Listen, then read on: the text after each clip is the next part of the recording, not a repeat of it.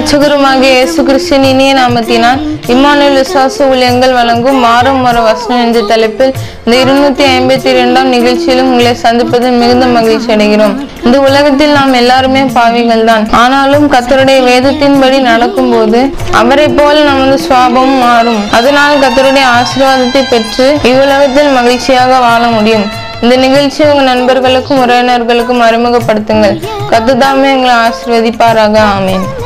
அனைவருக்கும் வணக்கம் இந்த வார வசனம் மத்தையும் ஐந்து நாற்பத்தெட்டு பரமபிதா பூரண சர்க்குணனா இருக்கிறது போல நீங்களும் பூரண சர்க்குணனா இருங்கள் you therefore must be perfect as your heavenly father is perfect Matthew chapter five verse forty eight thank you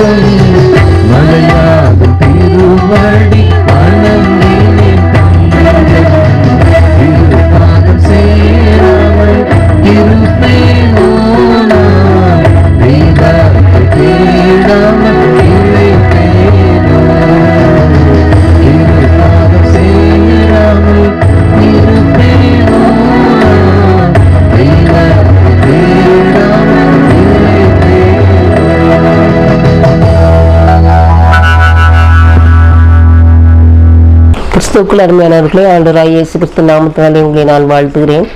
Emmanuel விசுவாச ஊழியங்கள் சார்பிலே ஆண்டுடைய வசனங்களை நாம் தியானித்து வருகிறோம். இந்த இருநூற்றி ஐம்பத்தி ரெண்டாவது வாரத்திலும் கூட ஆண்டுடைய கிருவியினாலே ஒரு வசனத்தை நாம் தியானிக்க இருக்கிறோம். மத்தேயு ஐந்தாம் அதிகாரம் நாற்பத்தெட்டாவது வசனம். மத்தேயு ஐந்து நாற்பத்தெட்டு. பரமபிதா பூர்ண சர்க்குணராக இருக்கிறது போல நீங்களும் பூர்ண சர்க்குணராக இருங்கள். பரமபிதா பூரண சர்க்குணராக இருக்கிறது போல நீங்களும் பூரண சர்க்குணராக இருக்க கடவீர்கள் பூரணம் என்பது மனிதருக்கு மட்டும்தான். உலகத்தில் பல விதமான ஜீவராசிகள்லாம் பிறக்கின்றன வாழ்கின்றன மடிகின்றன. ஆனால் அதே சமயத்தில் அந்த பூரணாக பூரணராக வேண்டும் என்ற ஒரு நிலை வரும்பொழுது அது மனிதருக்கு மட்டும்தான். பூரணராக வேண்டிய ஒரு நிலை என்பது அவருடைய குணாதிசயங்கள் எல்லாம் ஆண்டவர்களாக மாற வேண்டும். மனிதனுடைய சுவாபம் இயற்கையாகவே பாவத்தில் இருக்கவன் பாவத்திலே பிறந்தனாலே பாவம் அவனை ஆட்கொள்கிறது. அதே சமயத்தில் ஆண்டவரத்தில் வரும்பொழுது எல்லா விதமான ஆவியின் கனிகள் உள்ளவனாக அவன் இருக்க வேண்டும் என்று சொல்லி இந்த வசனம் சொல்கிறது. ஏனென்று சொன்னால் மனிதன் ஆண்டவனை சாயலாக படைக்கப்பட்டான். இயேசு கிறிஸ்து பூர்ண சர்க்கரராக இருந்தது போல நாமும் அப்படி இருக்க வேண்டும் என்று சொல்லி அவர் விரும்புகிறார். ஆகியத்தான் இந்த வசனம் நமக்கு என்ன செய்தி சொல்கிறது? நம்ம எது செய்தாலும் சரி ஆண்டவருக்காக செய்கிறோம் என்று சொல்லி நம்ம எதை செய்தாலும் நாம் பூரணராக ஆகவே முடியாது. இபிரேயர் ஒன்பதாம் அதிகாரம் ஒன்பதாவது வசனத்தை பார்ப்பீர்களானால் காணிக்கைகளும் பலிகளும் ஆராதனை செய்கிறவனுடைய மனச்சாட்சியை பூரணப்படுத்தக்கூடாதவை எப்படி சொல்லி சொல்லியிருக்கு. நம்ம எவ்வளவுதான் காணிக்கை கொடுத்தாலும் சரிதான். எவ்வளவுதான் நம்ம மற்ற ஆராதனையை பலவிதமான நிலைமைகளை நாம் ஆண்டவருக்கு செய்தாலும் கூட அது நம்மை பூரண பூரணமே படுத்தாதான் ஆண்டவர் விரும்புகிற விதமாக ஆண்டவர் சொல்கிற விதமான காரியங்களை நாம் செய்தால் மட்டும்தான் அது என்ன செய்யுமா? நமக்கு பூரணமான ஒரு நிலைமையை தரும் அப்படின்னு சொல்லி சொல்லியிருக்கிறது. பாருங்க உதாரணமாக அநேக காரியங்களை நாம் பாவம் என்பே நினைக்கிறது கிடையாது. ஒரு செல்வந்தர் ஒருவர் இருந்தார். அவருடைய பணம் எதனால் வந்தது அப்படின்னு சொல்லி சொன்னால் இந்த டாஸ்மாக் கடையை அரசாங்கத்திலிருந்து ஏழை எடுத்து அவர் எடுத்து கொண்டு வந்தார். ஏராளமான பணம் அவருக்கு குவிந்தது. அவர் ஒரு கிறிஸ்தவர் தான். ஆனால் அதே சமயத்தில் கா காணிக்க என்ன செய்வார் ஆலயத்துக்கு நிறைய கொடுப்பாரு. அது நிமித்தமாக அவர் எல்லாரும் அதை போடுவாங்க. கோயிலுக்கு எவ்வளோ செய்கிறாங்க எவ்வளோ செய்கிறாங்க அப்படின்னு சொல்லுவாங்க ஆனால் அந்த அந்த ப அந்த அவர்கள் செய்கிறதுக்கான மூல பிரதமான பணம் எங்கேருந்து வந்ததுன்னு சொன்னால் பாவமான ஒரு காரியங்கள். மற்றவர்களை குடிக்க வைத்து மற்றவர்களை பாவத்துக்குள்ளாகி அதனால வரக்கூடிய பணம். அது அவர் யோசிக்கிறதே கிடையாது. பிஸ்னஸ் வேற அப்படின்னு சொல்லி அநேக பேர் என்ன செய்கிறாங்க சொல்கிறாங்க அப்படி இருக்கும் பொழுது அப்படிப்பட்ட பணத்தை வச்சு க- ஆலயத்துக்கோ அல்லது நாங்கள் க தான தர்மம் பண்ணுறோமோ அப்படின்னு சொல்லி சொன்னாங்கன்னா அதனால எந்த பிரயோஜனமும் கிடையாது. பூரணத்துவமே கிடையாது.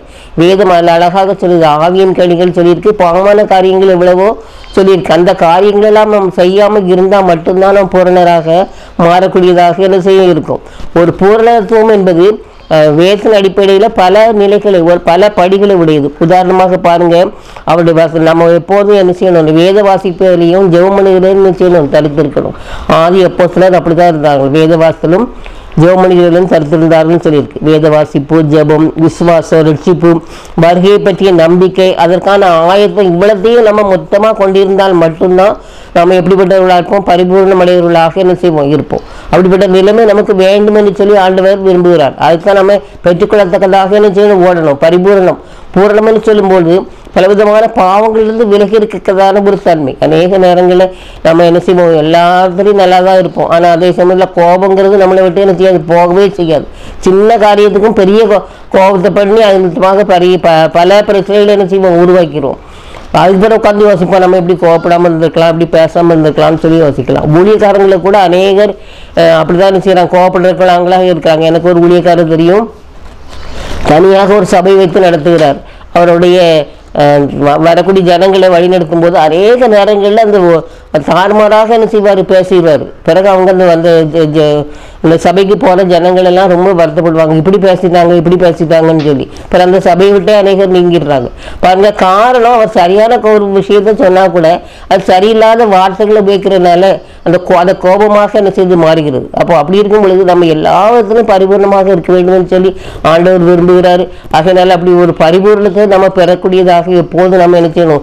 ஆண்டவரை நோக்கி நம்ம என்ன செய்யணும்? ஜெபம் பண்ணணும். அது மட்டும் இல்லாமல் பாருங்க எல்லா விதமான இயேசுவோடு நம்ம இணைத்து கொள்ளும் பொழுது மட்டும்தான் சூரியகாந்தி பூவை நம்ம பார்ப்போம். அந்த சூரியகாந்தி பூ எப்போ சூரியன் எந்த பக்கம் இருக்கோ அதை நோக்கி தான் இருக்கும். அது காலையில் கிழக்கு நோக்கி இருக்கும். வர வர மத்தியானத்துக்கு மத்தியானத்தில் நேர் நேராக வானத்துக்கு நேராக இருக்கும். அதுக்கு பிறகு மேற்கு நோக்கி என்ன செய்யும் இருக்கும். ஆண்டவரை பற்றி நம்ம பார்க்குறோம் அவருடைய முகத்தை நம்ம எப்போதும் தரிசிக்கக்கூடியதாக இருந்தோம்னு சொன்னால் அவருடைய பூர்ணத்தை பெற்றுக்கொள்ளத்தக்கதாக நம்ம என்ன செய்வோம்? ஓடுவோம். இல்லை எந்த விதமான சந்தேகமே கிடையாது. பாருங்கள் எப்படி திராட்சை செடியானது அந்த அந்த கொடியோடு இணைந்திருக்கிறதோ அந்த கொடியானது செடியோடு இணைந்திருக்கணும். அந்த செடியானது மண்ணில் ஊந்தி இருக்கும் அதில் அதை கூட இணைந்திருக்கும் போது தான் அது என்ன செய்யும்?